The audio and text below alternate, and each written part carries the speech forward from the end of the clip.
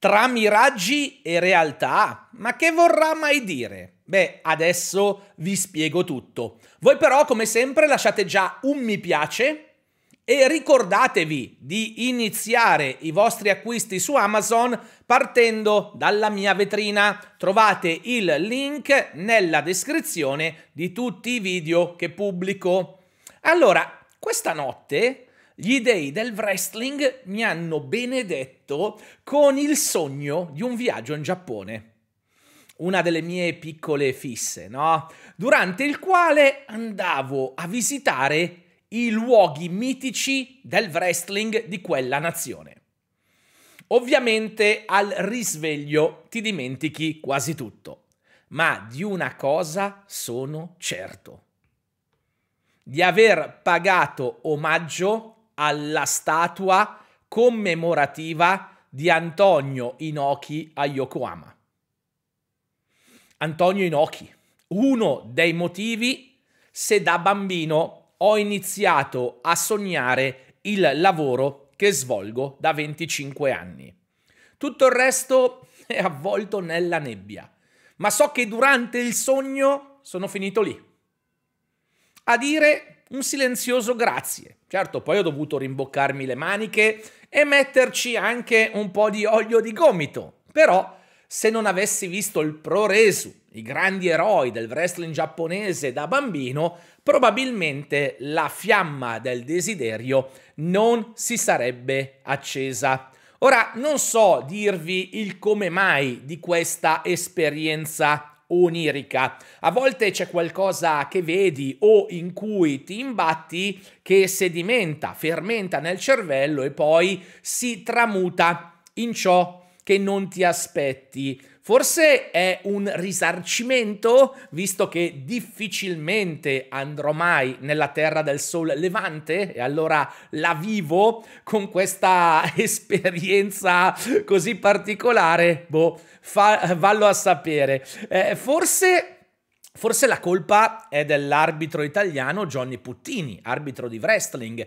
che sta vivendo un eh, viaggio, chiamiamolo annuale, in Australia e che ha fatto scalo qualche settimana fa pure in Nippolandia, dove ha incontrato, come vedete in foto, il primo Tiger Mask Satoru Sayama. Mamma mia, che invidia. Tra l'altro, eh, il wrestler lo ha trattato con i guanti bianchi, con quelli di velluto, addirittura encomiandolo durante una manifestazione ufficiale. Ah, quanto avrei voluto essere io. Ma, ma ognuno il suo, no? Vabbè, accantoniamo queste malinconie e rincasiamo almeno parzialmente tra le porte della realtà. E torniamo a sabato mattina. Io mi sveglio con questa esperienza di cui mi ricordo vagamente e inizio a lavorare. Eh, tuttavia, il mio impegno viene deragliato e interrotto perché su Facebook, dalla mia fanpage, eh, arriva un messaggio privato da parte di un ragazzo che mi prega di metterlo in contatto con Alexa Bliss, perché qualcuno sta cercando di truffarlo spacciandosi per lei sui social. Ne segue una conversazione nella quale, non richiesti, mi invia altri esempi di pseudostar del ring che lo avrebbero avvicinato sul web. Io gli chiedo ma su quale social? E lui ribatte su tutti. La cosa inizia un po' a puzzarmi.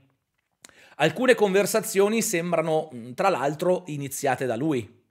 E il suo è un profilo chiaramente fake.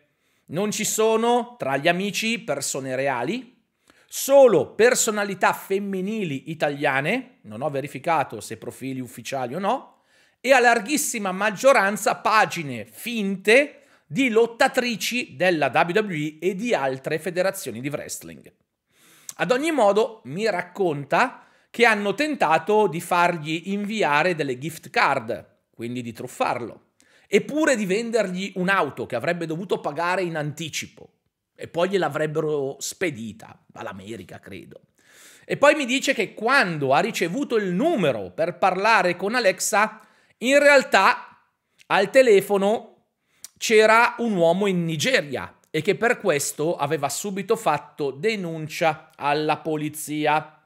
Il racconto, credetemi, io ve lo sto sintetizzando, ma ha tantissime incongruenze. Però magari il mio interlocutore è nel giusto e semplicemente si spiega male. Può essere. Così gli chiedo, ovviamente promettendogli l'anonimato, di spedirmi la prima pagina della querela come fact-checking giornalistico doveroso prima di raccontare in toto la sua storia. E lì accade quello che mi aspettavo, perché nella mia testa, per devianza professionale, avevo già iniziato a tracciare un suo profilo psicologico.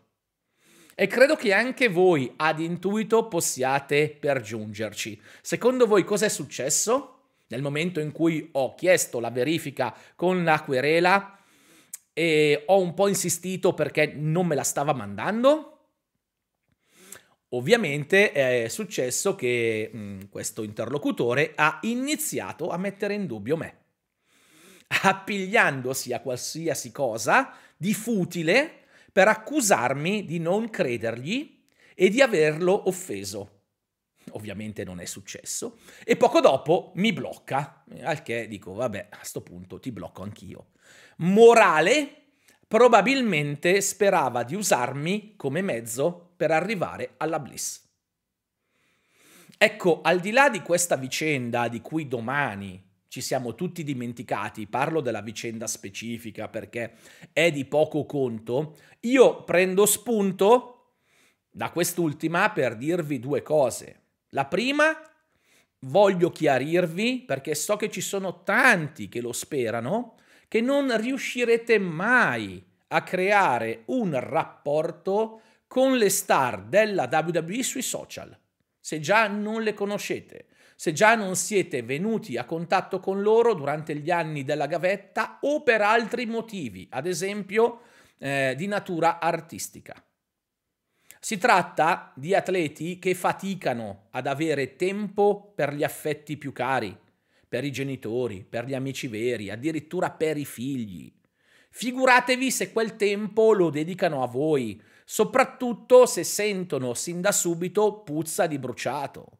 Magari scrivete qualcosa di carino, su Twitter e vi lasciano un cuore o un mi piace, lo hanno visto, vanno anche loro sui social durante i viaggi, ma questo non significa che vogliono diventare vostri amici. Quindi l'unica è quella magari di mettervi in mostra su alcune piattaforme, Instagram per esempio, che ne so, con dei disegni o delle vignette, con dei lavori artistici. In quel caso può darsi che vi notano e potrebbero anche nascere delle collaborazioni. In Italia è successo e se seguite tutto ciò che vi propongo ve l'ho anche raccontato. Ma per il resto, le star del wrestling, quelle affermate di fama mondiale, non hanno nessuna intenzione di aumentare gli stalker che già gli stanno dietro. Non dopo che qualcuno ha tentato di violentare e rapire Sonia Deville a casa sua, o che una tizia ha reso pubblico l'indirizzo di casa di Jay Uso, come ripicca perché lui non se la filava, o dopo che la stessa Alexa ha ricevuto minacce di morte per quello che ora è suo marito, perché stava per sposarsi.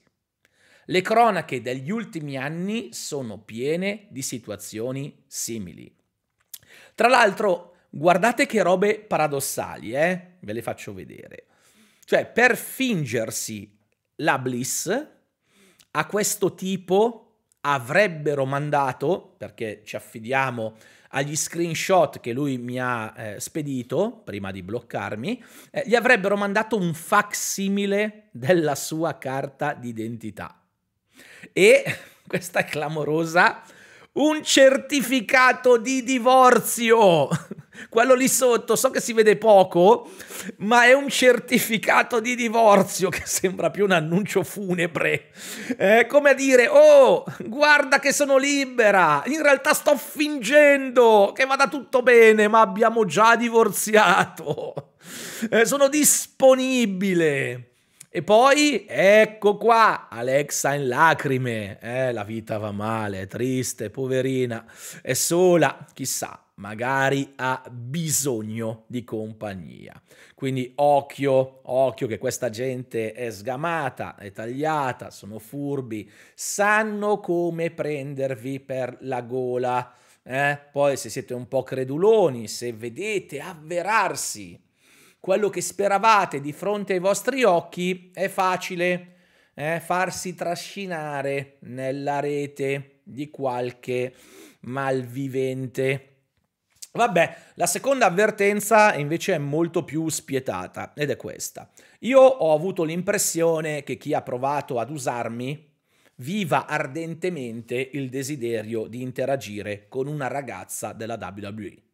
E come lui chissà quanti e a furia di trovare muri, magari dopo un po' vi bloccano anche, eh, e quindi si cercano altre strade o scappatoie, ecco che si finisce in balia di questi truffatori che sfruttano ciò che sperate a loro vantaggio. Però se doveste finire nelle loro grinfie partendo da questo presupposto, da me non avete nessuna solidarietà e desistete dal contattarmi perché siete anche voi colpevoli.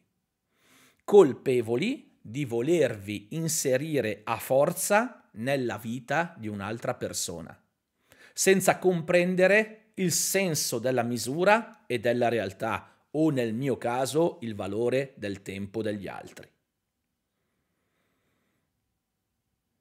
È psicologia spicciola, ma cercate qualcuno di vero, di concreto, che sia a voi vicino, con il quale poter interagire, parlare, scambiare parole, ma anche fare esperienze. È quello il succo della vita, perché altrimenti qui vi trovate con un retino a correre dietro a dei fantasmi. Ma siete voi che avete deciso di correre. Ed ecco qui il senso del titolo, tra miraggi e realtà, per un weekend alla fine naufragato tra correnti esterne al mio controllo.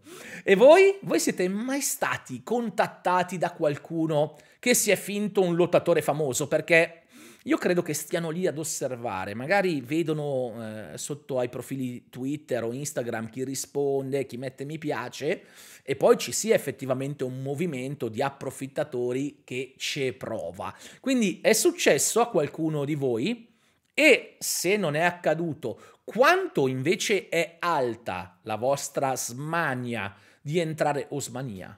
la vostra smania, credo, di entrare in contatto con la star del cuore. A cosa sareste disposti a rinunciare? Cosa sareste disposti a fare pur di riuscire in questa impresa? Se vi va di parlarne, dite a Roventi, come al solito vi aspetto nei commenti.